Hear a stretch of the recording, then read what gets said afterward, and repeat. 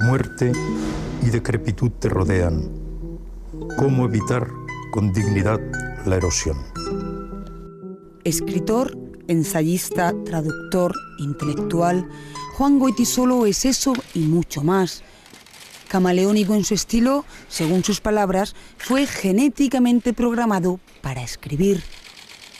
Lo dijo en El País, un periódico en el que colabora, y debe ser cierto porque ha publicado más de 50 libros de distintos géneros. A veces eh, textos que he escrito para la televisión o, para la prensa eh, han madurado, han germinado de alguna forma y han sido la semilla de algún un texto literario posterior. Vive en Marruecos, pero también ha vivido en Estados Unidos y Francia. Quizá por eso tiene una visión global y comprometida con su tiempo. Defensor de la causa palestina, la lucha por la democracia y la libertad de los pueblos árabes, la denuncia de las injusticias, ha sido varias veces reconocido por ello, entre otros con el premio Tres Culturas. Si me dan un premio, dudo de mí mismo. Pero aunque no le entusiasme, no puede evitar los reconocimientos, aquí y en otros lugares. Desde 2007, la biblioteca del Instituto Cervantes de Tánger lleva su nombre. Señor Goitisolo, si cuando le dan un premio duda de sí mismo, debe estar a punto de dudar otra vez porque va a recibir mañana el premio Don Quijote. Sí, aunque es este premio, el premio Don Quijote de la Mancha y que sea internacional me gusta. Eh, otros premios que llevan la palabra nacional no me gustan. A usted nunca, le ha gustado la palabra nacional, ¿verdad? No. Dígame por qué, dígame por qué. Todos los nacionalismos son peligrosos. Los nacionalismos eh, identitarios, religiosos, ideológicos, mm, me han molestado siempre. He, procurado siempre hablar un yo frente al nosotros.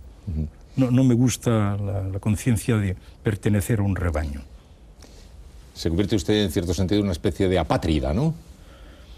Apátrida sería mucho decirlo. Soy una persona que ha vivido siempre en, la periferia, porque la mirada de la periferia al centro es siempre más interesante para mí que la del centro a la periferia.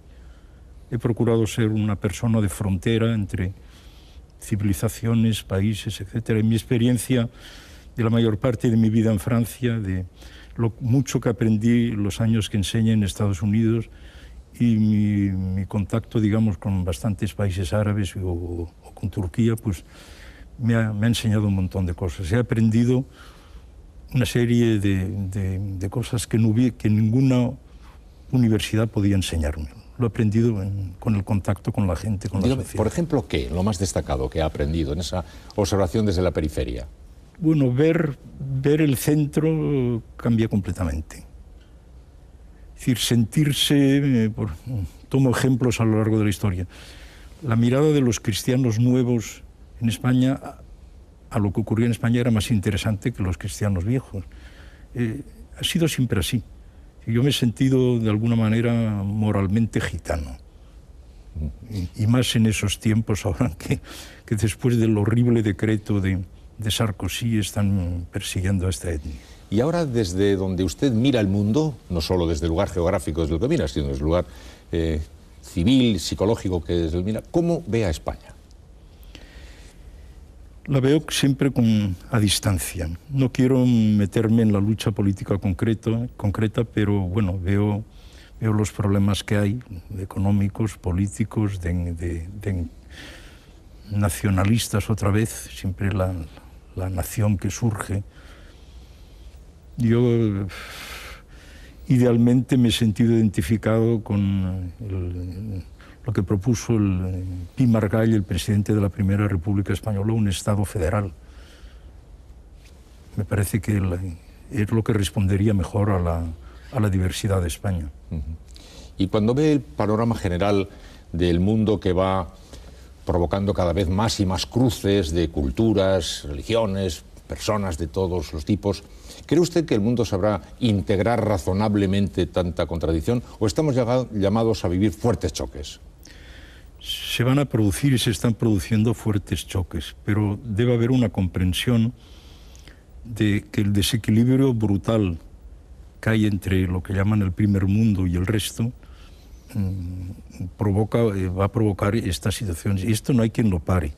La naturaleza tiene horror al vacío y los puestos de trabajo que no, eh, que, no ocupen los europeos o, o, los norteamericanos, etcétera, lo ocupará otra gente. El, eh, siempre cito una frase de mi querida Sherazad, la narradora de Las Mil y una Noche, cuando dice, el mundo es la casa de quienes carecen de ella. No se puede expresar mejor, el que no tiene su casa, su casa es el mundo. ¿Observa usted eh, con inquietud los crecientes movimientos, digamos, xenófobos o incluso islamófobos claros que se están dando en Europa? Obviamente esto es muy inquietante. Lo que está, tomo el ejemplo francés porque es el que conozco mejor, he vivido allí la mayor parte de mi vida y, conozco bien el problema de, las barriadas, de la banlieue. Eh, lo que está pasando allí es, es, eh, es una creación de guetos. Yo viví la, la experiencia de, de, cuando los inmigrantes estaban en el centro de París y no había ningún problema.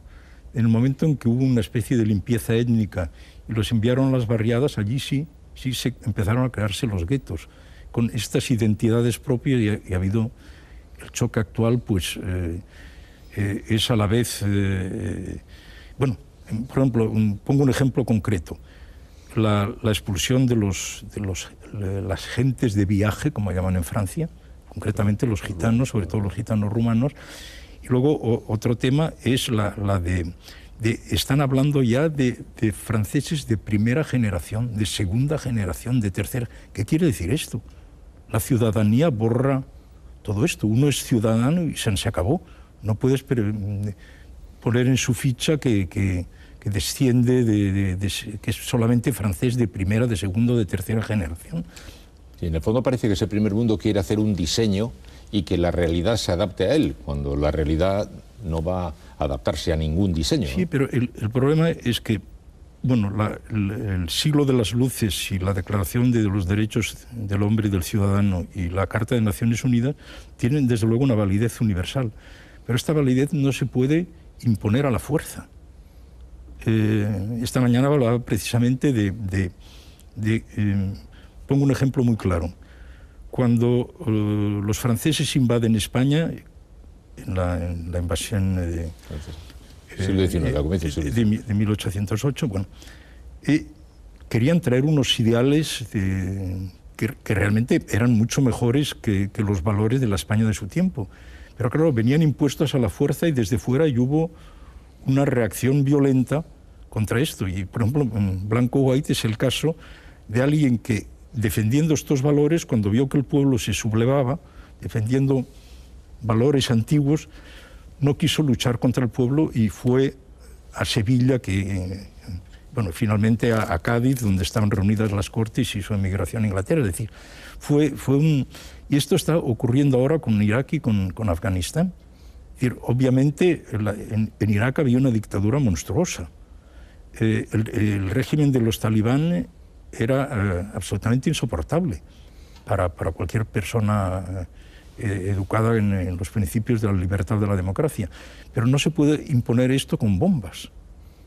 Y, y está, es decir, la, no olvidemos que los españoles inauguraron la guerra de guerrilla, palabra que ha adquirido un valor universal, y esto es lo que, lo que está pasando ahora actualmente, por ejemplo, en Afganistán. Uh -huh. ¿Usted cree ahora mismo que hay alguna vía de solución del conflicto eh, palestino-israelí? Desdichadamente no desdichadamente no. Yo tengo una, una, posición muy compleja porque he estado siempre por la, la, existencia de un Estado de Israel dentro de las fronteras internacionalmente reconocidas. Pero como Israel no admite ninguna de las resoluciones internacionales, nos encontramos con la paradoja, es decir, de esto eh, mi amigo Jean Daniel lo resumió muy bien diciendo, los sionistas querían crear un Estado como, tener un Estado como los demás y de repente resulta de que es un Estado diferente de todos los demás en la medida en que no acepta ninguna resolución de Naciones Unidas. Esta es una contradicción. Hubo un momento en que Yasir Arafat soñaba con crear un Estado palestino incluyendo los judíos que vivían en, actualmente en las fronteras de Israel. Me di cuenta de que era imposible. Pero ahora resulta que, al no permitir la creación de un Estado de Israel viable, ya muchos palestinos dicen, bueno, aceptamos vivir dentro de las fronteras del Estado de Israel, pero con los mismos derechos que los israelíes.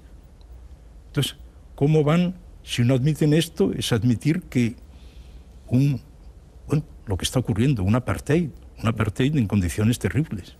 Parece que el mundo va a terminar siendo eso, una serie de cajones de distintos tipos de, de apartheid, uniéndose la gente por, por distintos tipos de identidad. yo la palabra identidad, es decir... Mm, Le pone nervioso. Sí, me resulta odioso, a menos que sean identidades complejas. Es decir, cuando uno mm, admite la, decir, la, riqueza del propio contenido es siempre vario. nadie, nadie tiene una identidad única. La, vida, la vida cambia, los seres humanos cambiamos. Mi identidad de ahora no es la misma de hace 20 años o de hace, de hace 40 años. Es decir, no, puede haber una, identidad fija. Bueno, pero es incluso ahora mismo decir español hubiera ya debido significar eso, una identidad enormemente variada, compleja y rarísima, ¿no? Y sin embargo, todavía hay mucha gente que maneja la palabra español atribuyéndole unas purezas que le obligan rápidamente a entrar en colisión con otras, ¿no? Sí, esto, me parece absolutamente mortífero. Y creo que la lengua española eh, debería ser, por ejemplo, usted eh, me hablaba de, del nacionalismo. Cuando oigo hablar de literatura mm, colombiana, argentina, peruana, mexicana, cubana, española, me parece absurdo. Hay buena y mala literatura escrita en nuestra lengua. Yo, no admito fronteras, a veces tengo, he tenido relaciones más, podemos decir, de proximidad en todos los sentidos, literaria, ética, con, con escritores de Cuba o de México que, con escritores españoles a veces, en distintos periodos. Para mí no hay diferencia.